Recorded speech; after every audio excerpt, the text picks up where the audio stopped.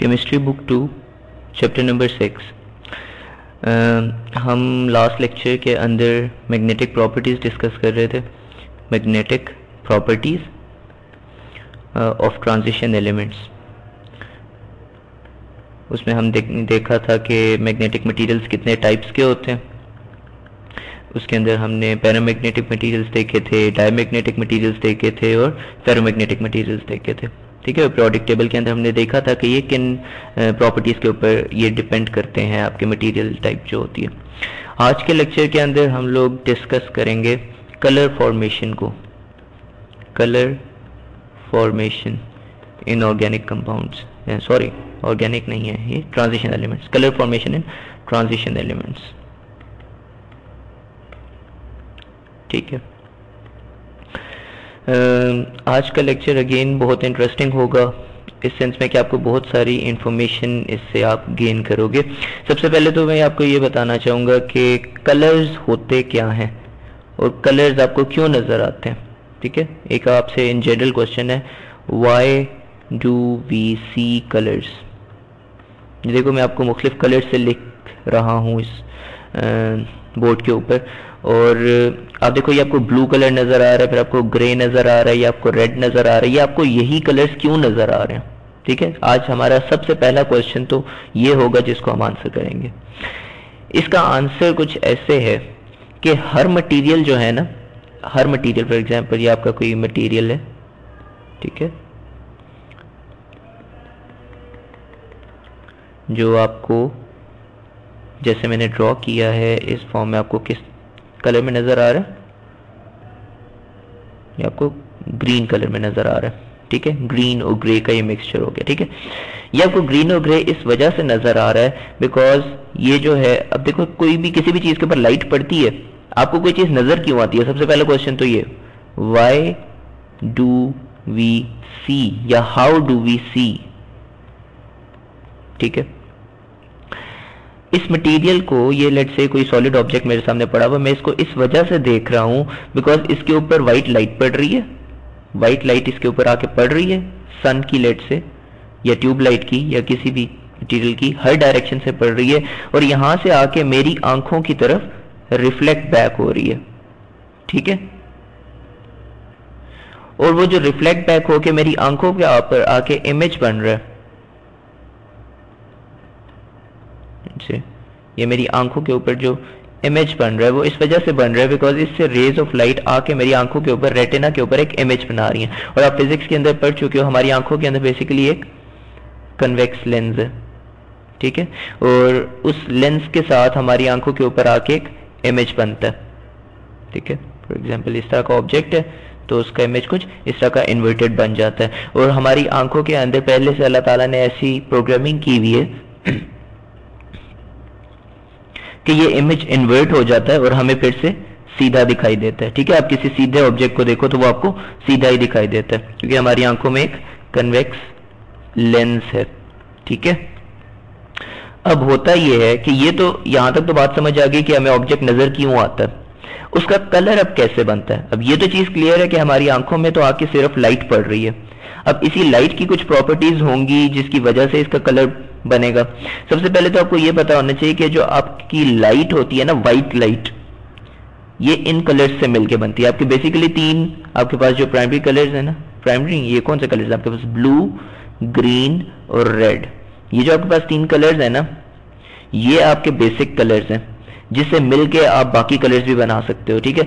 Blue और green के combination से ग्रीन और रेड के कॉम्बिनेशन से आप येलो और सियान प्रोड्यूस कर देते हो, ठीक है? इसी तरह इन ही तीन कलर से आप व्हाइट लाइट को प्रोड्यूस कर सकते हो, ठीक है? वैसे तो आपने रेनबो जो होता है, उसके अंदर भी आपने वो सेवन कलर्स देखे होंगे, वो भी बेसिकली व्हाइट लाइट ही को प्रोड्यूस कर रहे हैं और वो भी इन शॉर्ट यही वाले कुछ कलर्स हैं, ठीक है? तो आपके बेसिक कलर्स जो है ना, वो यही हैं, बाकी सब कलर्स इन्हीं कलर से मिलके बन जाते हैं।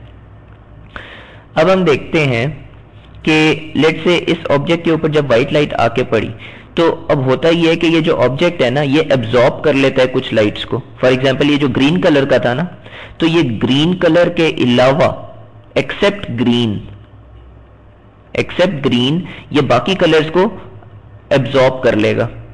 ठीक है? अब इस तरह तो आप कहोगे कि ग्रीन के अलावा तो ये ढेर सारे कलर्स हैं।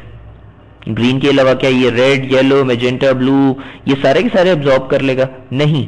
ये कोई एक मखसूस कलर एब्जॉर्ब करेगा, ठीक है? जो अननोन कलर है। फॉर एग्ज़ाम्पल आप उसको थोड़ी देर के लिए भूल जाओ कौन सा कलर ये कोई एक्सेप्ट ग्रीन ये कोई कलर एब्जॉर्ब कर लेगा, ठीक है? It absorbs an X Y G colour ये कोई एक्स वाई जी कलर है, कोई कोई भी कलर है, ठीक है? इसको इसने एब्जॉर्ब कर लिया है। जो इसने रिफ्लेक्ट किया है, क्या उसमें वो वाला कलर होगा जो इसने एब्जॉर्ब कर लिया है? नहीं, वो नहीं होगा। जो इसने रिफ्लेक्ट किया है ना, उसमें बाकी सारे कलर्स होंगे। और वो जो बाकी सारे कलर्स होंगे ना, वो हमारी आँखों के ऊपर आके इमेज बनाएँगे। और हमारी आँखों के अंदर अगेन इस तरीके से आप कह लो कि प्रोग्राम हुआ हुआ है। हमारे नर्व्स इस तरीके से प्रोग्राम हुई हुई है कि हमें वो जो कलर्स का कॉम्बिनेशन है, वो हमें दिखाई देगा। फॉर एग्ज़ाम्पल मैं कहता हूँ कि कोई मटेरियल है जिसने रेड कलर को एब्जॉर्ब कर लिया, ठीक है? अगर तो उसने रेड कलर को एब्जॉर्ब कर लिया है, इस बात का मतलब ये हुआ कि जो रिमेनिंग पीछे मेजर दो कलर्स रह गए हैं, वो ग्रीन और ब्लू हैं जो रिफ्लेक्ट होंगे। अब ग्रीन और ब्लू मिक्स होके क्या कलर प्रोड्यूस करते हैं आपके पास? सियान या मजेंटा येलो प्रोड्यूस होने के चांसेस बहुत कम हो चुके हैं बिकॉज़ रेड कलर तो उस मटेरियल ने एब्जॉर्ब कर लिया है ना। या तो आपके पास सयान या मेजेंटा कलर प्रोड्यूस होगा, ठीक है? डिपेंडिंग के जो आपका रेड कलर है, ये किस किस टेंडेंसी तक कितनी वेवलेंथ इसकी एब्जॉर्ब हुई है, ठीक है? ये रेड कलर के अंदर भी हो सकता है येलो कलर एब्जॉर्ब हो गया, हो सकता है मेजेंटा कलर एब्जॉर्ब हो गया हो ठीक है? तो आपके पास जो आपको कलर दिखाई देगा वो या तो सियान या मजेंटा या वायलेट टाइप आपको कलर दिखाई देगा, ठीक है? अब हम आ जाते हैं कि ये तो आपको समझ आ गया कलर्स प्रोड्यूस कैसे होते हैं। सेकेंड हमारा जो आज का क्वेश्चन होगा, जिसको हम डिटेल में डिस्कस करेंगे, वो होगा डी ऑर्बिटल की ज्योमेट्री ठीक है? ये बहुत ही इंटरेस्टिंग टॉपिक है। आपको पता है कि जो डी ऑर्बिटल है, उसके अंदर टोटल कितने इलेक्ट्रॉन्स आते हैं? टेन इलेक्ट्रॉन्स ठीक है? और वो सब के सब दो दो के पेयर्स की फॉर्म में आते हैं। Two four six eight and ten और ये जो दो दो के होते हैं, इनके नाम अब क्या होते हैं? इनके नाम होते हैं आपके पास D X Y D Y Z D X Z then D X square Y square and then D G square ठीक है? ये आपके पास पाँच ऑर्बिटल्स होते हैं, जो डी के फर्दर सब शेल्स होते हैं। सब ऑर्बिटल्स आप कह लोगे सब ऑर्बिटल्स और अब हम इनकी शेप्स भी देख लेते हैं। जैसे आपने पढ़ा था ना, अपनी केमिस्ट्री के अंदर लास्ट ईयर के पी एक्स पी वाई और पी जी होते हैं और इनकी शेप्स इस तरह की होती हैं। ठीक है? ये P X P Y P G होते हैं। इसी तरह डी ऑर्बिटल्स की शेप्स जो होती हैं ना, वो फर्दर आपके पास थोड़ी कम्प्लेक्स होती हैं। ये आपके पास डी ऑर्बिटल्स की शेप है। ठीक है? आप अगर यहाँ से देखना शुरू करो, ये आपके पास डी एक्स वाई है। ठीक है? थोड़ा सा आपको यहाँ पे एक कंसेप्ट मैं आपको देना चाहता हूँ। ये जो साइड पे आपको इलेक्ट्रॉन्स नज़र आ रहे हैं, ये बेसिकली इलेक्ट्रॉन्स हैं। ठीक है? आप यहाँ से ऊपर से देखना शुरू करो। आपके पास बेसिकली कोई एक मेटल है, जो एक ट्रांजिशन मेटल है। ठीक है? वो जो ट्रांजिशन मेटल है, आपने उसके गिर्द नेगेटिव चार्जेस प्रोड्यूस किए हैं। आप उसने, आपने क्या किया ट्रांजिशन मेटल को? उसके गिर्द इलेक्ट्रॉन्स डाल दिए और कितने डाले हैं? सिक्स इलेक्ट्रॉन्स ठीक है? उसके ऊपर ये एक सफियर बन जाएगा ना, जिसके ऊपर छह के छह इलेक्ट्रॉन्स आ जाएँगे। इस स्टेट के अंदर ये बहुत ही हाई एनर्जी स्टेट पे होगा और अपने आप को स्टेबलाइज करने के लिए क्या करेगा कि उन छह इलेक्ट्रॉन्स को इस पोजीशन में रख देगा। अब ये इस इस वाली शेप को आप जरा गौर से देखो। ये शेप कैसी है? ये आपके पास इस तरीके से शेप है। आपके पास एक स्क्वायर है, ठीक है? उस स्क्वायर से ऊपर जिस तरह एक हट बना हुआ है, ठीक है? और उससे नीचे भी इसी तरीके से यू चार इलेक्ट्रॉन्स जा रहे हैं। इस शेप को हम कहते हैं ऑक्टाहेड्रॉन ऑक्टाहेड्रॉन ठीक है? और ऑक्टाहेड्रॉन क्यों? बिकॉज़ इसकी टोटल एट साइड्स हैं। वन टू थ्री फोर नीचे वाली और ऊपर वाली one two three four total eight इसकी सर्फेसिस हैं, ठीक है? अब आप देखो इस ऑक्टाहेड्रॉन के अंदर आपके पास यहाँ जो छह इलेक्ट्रॉन्स हैं, वो इन कॉर्नर्स के ऊपर आ गए। ठीक है? अब होगा ये कि जो आपका डी शेल होता है ना, वो वैसे तो डी जेनरेट होता है। अब एक नया कंसेप्ट है डी जेनरेसी का।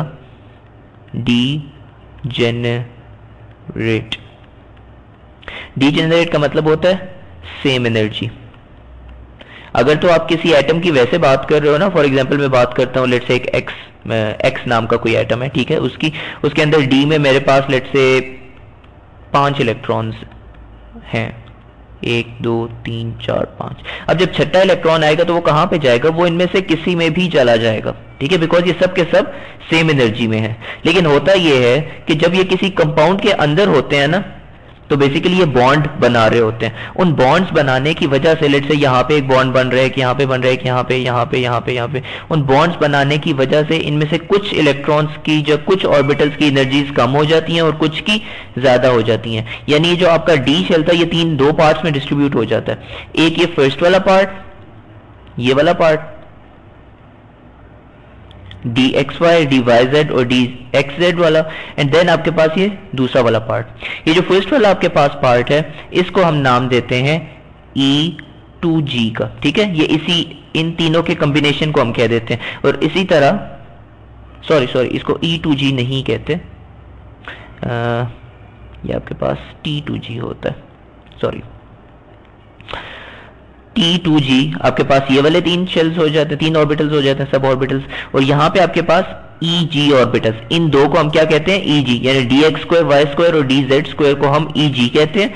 और ये जो D X Y Y Z और एक्स जेड है, हम इनको टी टू जी कहते हैं, ठीक है? यहाँ पे आप इस के अंदर देखो कि इनकी शेप्स फिर कैसी हो जाती हैं। आपकी जो डी एक्स वाई है ना, ये इस तरह का होता है। ठीक है? डी एक्स जेड और डी वाई जेड ये देखो, ये तीन इस तरह की शेप्स प्रोड्यूस करते हैं। और जो आपके पास ई जी ऑर्बिटल्स के अंदर D X square Y square और डी जी स्क्वायर है, ठीक है? ये आपके पास इस तरह की शेप्स प्रोड्यूस करते हैं। अब आप देखो, ये जो D X square Y square और डी जी स्क्वायर है, इनकी खसूसियत क्या है?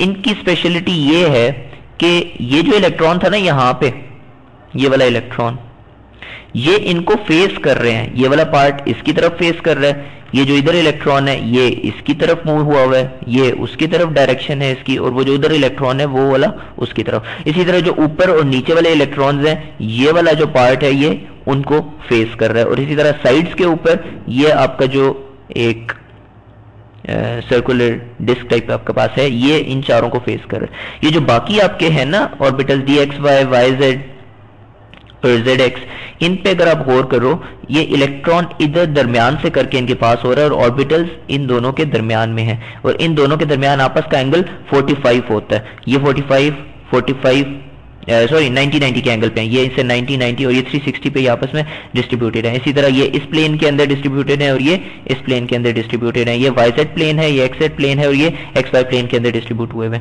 अब देखो, ये इन इलेक्ट्रॉन्स को फेस नहीं कर रहे। ये दरमियान से लाइन पास कर रही है। ये इस तरह नहीं है कि इसके अंदर से पास करो ये ऐसे था, जैसे उसके अंदर से पास कर रहा था। अब चूँकि ये इन इलेक्ट्रॉन्स को या इन जहाँ पे बॉन्डिंग होगी उन इलेक्ट्रॉन्स को या उन ऑर्बिटल्स को फेस कर रहे हैं। ई e जी जो है, जिसके अंदर D X square Y square D G square है, ये थोड़ी सी हाई एनर्जी स्टेट में चले जाते हैं। हाई एनर्जी स्टेट में। और ये जो आपके पास टी टू जी है, ये थोड़ी सी चूँकि ये उन इलेक्ट्रॉन से थोड़े से साइड पे करके होते हैं, ये लो एनर्जी स्टेट के अंदर चले जाते हैं। लो एनर्जी स्टेट के अंदर स्टेबलाइज हो जाते हैं, ठीक है? इसका मतलब अब ये हुआ कि अब किसी इलेक्ट्रॉन ने अगर आना होगा तो वो सबसे पहले टी टू जी के इलेक्ट्रॉन्स में जाएँगे और फिर वो ई e जी के इलेक्ट्रॉन्स में जाएँगे ई e जी के ऑर्बिटल्स में जाएँगे, ठीक है? तो अब ये जो आपके पास थे फॉर एग्ज़ाम्पल मेरे पास एक इलेक्ट्रॉन आया तो वो पहले जाएगा यहाँ पे, फिर वो जाएगा यहाँ पे और यहाँ पे, उसके बाद वो इन दो को फिल करेगा, ठीक है? अब इसी स्प्लिटिंग को अब मैं लिंक करना चाहूँगा। अपने, देखो लास्ट कुछ लेक्चर्स के अंदर से हम लोग प्रॉपर्टीज़ डिस्कस कर रहे हैं ट्रांजिशन मेटल्स की। और आप हमेशा जब भी प्रॉपर्टीज़ डिस्कस करते हो तो वो कुछ इस तरह के ट्रेंड्स होते हैं। दरमियान में आते हैं, एक एम्बिग्विटी आती है और फिर यूँ करके ग्राफ्स नीचे आ जाते हैं। ये एम्बिग्विटी आपकी आती है मैंगनीज के करीब। यूँ ही होता है ना? आपके जो बाइंडिंग एनर्जीज थी, वो भी यूँ ही थी। आपके जो मेल्टिंग एंड बॉइलिंग पॉइंट्स थे, वो भी मैंगनीज के डिफरेंट थे। आपका जो स्ट्रक्चर था, वो भी मैंगनीज का सबसे डिफरेंट है। उसकी रीजन हम आज डिस्कस करेंगे कि वैसे तो मैंने आपको बताया था कि वो इसकी स्टेबिलिटी उसकी वजह होती है कि मैंगनीज जो है वो ज़्यादा स्टेबल होता है। आज हम ज़्यादा डिटेल के अंदर डिस्कस करते हैं मैंगनीज के बारे में। सबसे पहले तो ये कि मैंगनीज जो है, ये कहाँ पे लाई कर रहा है? यहाँ पे आप देखो, ये मैंगनीज है। ठीक है? मैंगनीज जब एक इलेक्ट्रॉन लूज करता है तो डी सिक्स कन्फिग्रेशन के अंदर होता है। यानी वैसे जो मैंगनीज का आपके पास, वो है ना? मैंगनीज का आपके पास क्या है?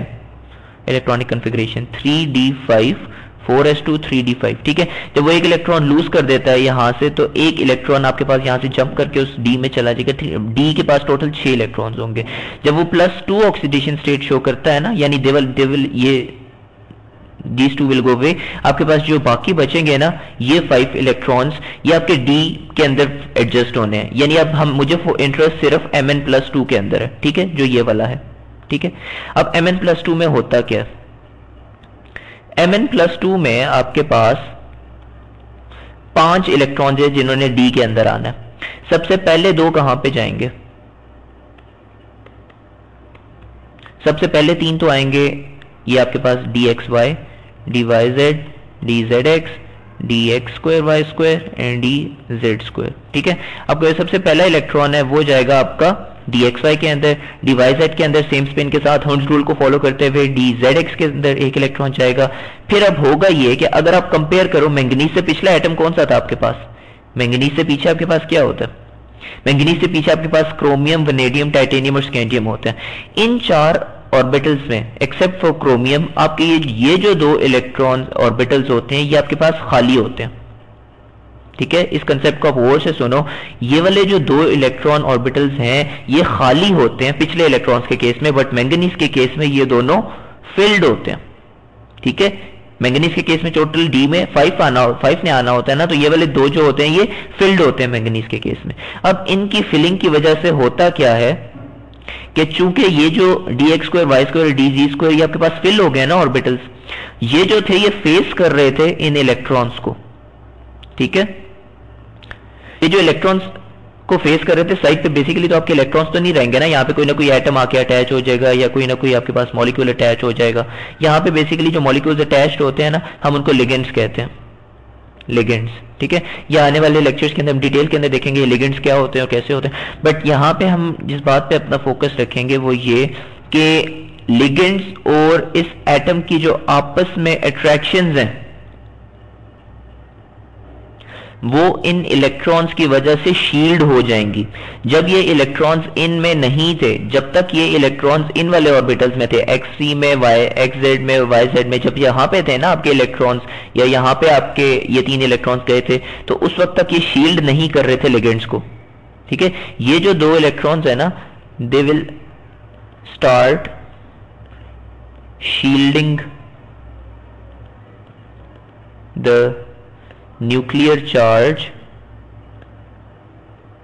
on ligands ठीक है, ये बहुत इंटरेस्टिंग कंसेप्ट है कि जब आपके यहाँ पे दो इलेक्ट्रॉन्स आएँगे ना, ये एज एन अशील्ड बन जाएँगे। किस चीज़ की? वो जो साइड पे एटम्स ने आके लगना था ना, उनके साथ एक शील्ड बन जाएँगे। तो जब एक शील्ड बन जाएँगे तो इनकी जो फोर्स है, उनके ऊपर कम हो जाएगी और इनकी दरमियान की फोर्स कम होने की वजह से मैंगनीज प्लस टू का जितना रेडियस होना चाहिए, उससे ज़्यादा हो जाएगा।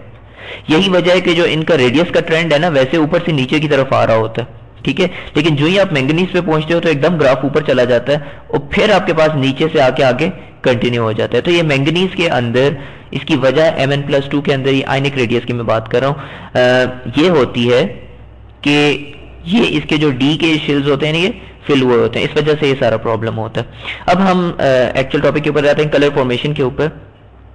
फॉर एग्ज़ाम्पल हम क्रोमियम की बात करते हैं। क्रोमियम जो होता है ना क्रोमियम ये क्या ऑक्सीडेशन स्टेट शो करता है?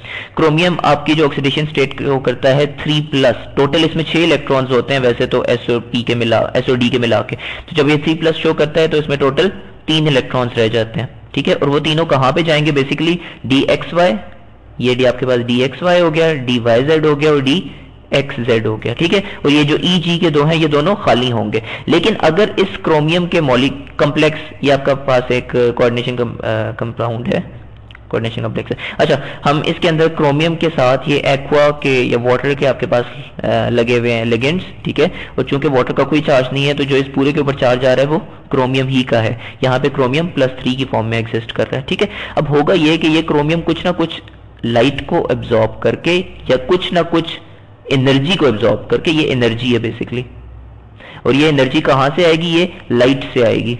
ठीक है? कुछ ना कुछ एनर्जी को एब्जॉर्ब करके इस वाली स्टेट में चला जाएगा। यहाँ से एक इलेक्ट्रॉन शिफ्ट होके ईजी में चला जाएगा। ठीक है? और ये जो एनर्जी है, ये किस चीज़ पे डिपेंड करती है? ये आपके इस लिगेंड्स के और सेंट्रल मेटल आयन की फोर्स के ऊपर डिपेंड करती है। ठीक है? जो आपने चीज़ याद रखनी है कि ये इनके दरमियान एक एनर्जी होती है और उस एनर्जी की वजह से क्या होता है कि ये दोनों स्प्लिट हो जाएँगे। ठीक है? और ये एक इलेक्ट्रॉन ऊपर जंप कर जाएगा, वो एनर्जी एब्जॉर्ब करके। वो एनर्जी जब एब्जॉर्ब करेगा तो ये बाकी एनर्जी को रेडिएट कर देगा, बाकी एनर्जी को ये क्या करेगा? रिफ्लेक्ट बैक करेगा। वो जो बाकी एनर्जी है, वो हमारी आँखों पे आके इमेज बनाएगी और हमें मैंगनीज का सॉरी क्रोमियम का वो वाला कलर नज़र आएगा, जो भी बनता है। ठीक है? इसका मतलब है, अगर तो आपके पास हाफ़ फिल्ड डी ऑर्बिटल्स हैं। Half filled D orbitals for example इस केस में जैसे आपके पास हाफ़ फिल्ड डी ऑर्बिटल्स थे तो तो इलेक्ट्रॉन्स जंप करके ऊपर जा सकते हैं। अगर आपके पास नहीं है तो इलेक्ट्रॉन्स यूँ नहीं करेंगे। तो हाफ़ फिल्ड डी ऑर्बिटल्स यही वजह है कि हमने ट्रांजिशन एलिमेंट्स को जब डिस्क्राइब किया था ना, ये होते क्या है तो वहाँ पे हमने इस बात के ऊपर अपना फोकस रखा था कि इनके जो डी शेल्स के जो इलेक्ट्रॉन्स हैं, ये in the process of filling होते हैं। ठीक है? फिल्ड नहीं होते। In the process of filling होते हैं। इसी वजह से जो आपके ट्रांजिशन एलिमेंट्स हैं, ये आपको मुख्तलिफ़ कलर शो करते हैं। ठीक है? फॉर एग्ज़ाम्पल आप ये देखो, आपके ये मुख्तलिफ़ क्रोमियम मैंगनीज आयरन आयरन ये देखो आपको मुख्तलिफ़ कलर्स हैं। अब देखो जेड एन जो टू प्लस है, ये आपको व्हाइट कलर शो कर रहा है। इसकी हम वजह डिस्कस कर लेते हैं कि जिंक आपके पास कलर क्यों नहीं शो कर रहा। जिंक आपके पास जिंक की अगर आप इलेक्ट्रॉनिक कन्फिग्रेशन ड्रॉ करो तो वो कुछ ऐसी होती है। ये आपके पास जिंक फोर एस में दो इलेक्ट्रॉन्स होते हैं और देन थ्री डी के अंदर सारे के सारे फिल्ड होते हैं। ठीक है? अब होता यह है कि चूँकि इसके अंदर सबके सब फिल्ड हैं, और जब आप जिंक के आइन की बात करते हो, जो कि टू प्लस है, ये वाले दो इलेक्ट्रॉन्स एस वाले तो रिमूव हो गए ना, अब डी के अंदर चूँकि सबके सब फिल्ड हैं, इनमें से ये वाला जो प्रोसेस ऊपर हमने डिस्क्राइब किया था कि एक इलेक्ट्रॉन ऊपर जंप कर जाएगा एनर्जी एब्जॉर्ब करके, ये वाला प्रोसेस जिंक के अंदर नहीं होगा। और जब नहीं होगा तो जिंक कोई भी एनर्जी एब्जॉर्ब नहीं करेगा, बल्कि सारी की सारी एनर्जी रिफ्लेक्ट बैक कर देगा। फॉर एग्ज़ाम्पल ये जिंक पड़ा हुआ है तो ये एनर्जी आएगी सारी की सारी, और ये सारी की सारी उसी कलर में एमिट हो जाएगी। यानी व्हाइट लाइट आके पड़ी, और व्हाइट ही लाइट आके रिफ्लेक्ट हो गई। और हमारी आँखों के ऊपर जब इमेज बना, ठीक है हमारी आँखों के ऊपर जब इसका इमेज बना तो वो हमें व्हाइट ही नज़र आएगा बिकॉज़ इसने कलर तो कोई एब्जॉर्ब किया ही नहीं। अगर तो ये कोई कलर एब्जॉर्ब कर लेता तो हमें डिफरेंट कलर पे नज़र आता, ठीक है? इसी तरह हम और इसी तरह जितने भी जिंक के कंपाउंड है ना फॉर एग्ज़ाम्पल जिंक क्लोराइड की आप बात करो, ये आपके पास व्हाइट कलर में होता है। आप अगर टाइटेनियम के कंपाउंड्स की बात करो टी आई ओ टू अब टाइटेनियम की टाइटेनियम की इलेक्ट्रॉनिक कन्फिग्रेशन क्या है? टाइटेनियम हम यहाँ से देख लेते हैं। टाइटेनियम आपके पास जब प्लस थ्री शो करता है, उस वक्त डी वन होता है और जब प्लस फोर शो करता है तो डी में ज़ीरो इलेक्ट्रॉन्स होते हैं, ठीक है? अब आप देखो टाइटेनियम ऑक्साइड का मतलब ये है ऑक्सीजन पे चार्ज क्या होता है? माइनस टू और दो ऑक्सीजन पे क्या हो जाएगा? माइनस फोर इसका मतलब है यहाँ पे जो आपका टाइटेनियम का चार्ज है, इस कंपाउंड के अंदर वो क्या है? टाइटेनियम प्लस फोर और जब फोर इलेक्ट्रॉन्स टाइटेनियम दे देगा तो इसके तो होते ही टोटल फोर इलेक्ट्रॉन्स हैं। दो डी के अंदर और दो एस के अंदर। चारों के चारों जब इलेक्ट्रॉन्स निकल जाएँगे तो इसके अंदर डी में ज़ीरो इलेक्ट्रॉन्स होंगे। ठीक है? और जब डी में कोई इलेक्ट्रॉन ही नहीं होगा तो वो एनर्जी कैसे एब्जॉर्ब करेगा? वो कैसे ऊपर की तरफ़ जंप करेगा? ठीक है? क्योंकि energy d to d transition हम इस प्रोसेस को कहते हैं। ये जो ऊपर की तरफ़ आपके इलेक्ट्रॉन्स जो होते हैं, ये जंप कर रहे होते हैं। तो डी टू डी ट्रांजिशन आपकी नहीं होगी, और यही वजह है कि आपका जो टाइटेनियम ऑक्साइड है, ये भी अगेन आपका व्हाइट होता है कलर में। ठीक है? इसके बाद हम एक और एग्ज़ाम्पल डिस्कस कर लेते हैं। आपका क्रोमियम जो होता है क्रोमियम क्रोमियम एक्वा ये आपका जो कंपाउंड बनता है। ठीक है? और इसके ऊपर टोटल प्लस थ्री चार्ज होता है। वाटर का तो कोई चार्ज नहीं होता क्रोमियम के ऊपर यहाँ पे प्लस थ्री चार्ज है। और क्रोमियम के ऊपर जब प्लस थ्री चार्ज होता है तो ये कौन सी इलेक्ट्रॉनिक कंफिग्रेशन के अंदर होता है? क्रोमियम को हम डिस्कस कर लेते हैं। क्रोमियम कहाँ पे है? ये। क्रोमियम प्लस थ्री में होता है तो इसमें तो डी थ्री कन्फिग्रेशन होती है। यानी डी में टोटल तीन इलेक्ट्रॉन्स होते हैं। उन तीन में से एक इलेक्ट्रॉन ऊपर जंप कर जाएगा और ये कुछ ना कुछ एनर्जी एब्जॉर्ब करेगा इस प्रोसेस में क्रोमियम ठीक है? और ये लो एनर्जी को एब्जॉर्ब करेगा। उसकी वजह यह है कि जो वाटर का बॉन्ड होता है ना क्रोमियम के साथ, वो बहुत वीक होता है। यहाँ पे वीक बॉन्ड की वजह से ये लो एनर्जी एब्सॉर्ब करेगा। और लो एनर्जी कौन सी डोमेन के अंदर होती है? येलो या ग्रीन डोमेन के अंदर, ठीक है? येलो वाले पार्ट के अंदर से एनर्जी को एब्सॉर्ब करेगा और जो रिफ्लेक्ट बैक करेगा रिफ्लेक्ट बैक करेगा, वो येलो और ग्रीन के अलावा जो कलर्स हैं, उनका मिक्सचर होगा। और वो आपके पास डीप वायलेट कलर बनता है, ठीक है? ये आपको एग्ज़ाम्पल मेमोराइज करने की ज़रूरत नहीं है। अलबत्ता ये वाली एग्ज़ाम्पल जिंक और टाइटेनियम वाली एग्जांपल्स बहुत ही इंटरेस्टिंग और बहुत ही आसान है समझने के लिए, ठीक है?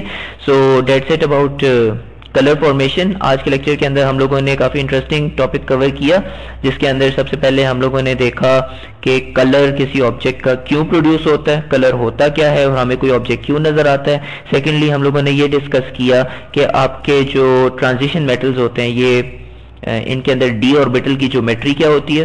डी ऑर्बिटल्स की शेप्स क्या होती हैं?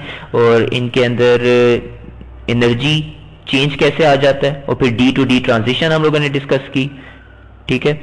और डी टू डी ट्रांजिशन के बाद हम लोगों ने मैंगनीज को भी आज डिटेल के अंदर कवर किया कि मैंगनीज की जो प्रॉपर्टीज़ डिफरेंट है, बाकियों से उसकी वजह क्या है। और देन लास्ट हम लोगों ने ट्रांजिशन मेटल्स के मुख्तलिफ़ एग्जाम्पल्स देखी और उसके अंदर हम लोगों ने कवर की टाइटेनियम और जिंक के कंपाउंड्स ठीक है? तो नेक्स्ट लेक्चर के अंदर हम लोग इनशाला कवर करेंगे जो रिमेनिंग प्रॉपर्टीज़ रह गई हैं हमारे पास, जिसके अंदर आपके पास रेडियाई रह गए हैं। ठीक है? और इसके अलावा आपके पास अलॉय फॉर्मेशन और इंटरस्टिशियल्स हैं।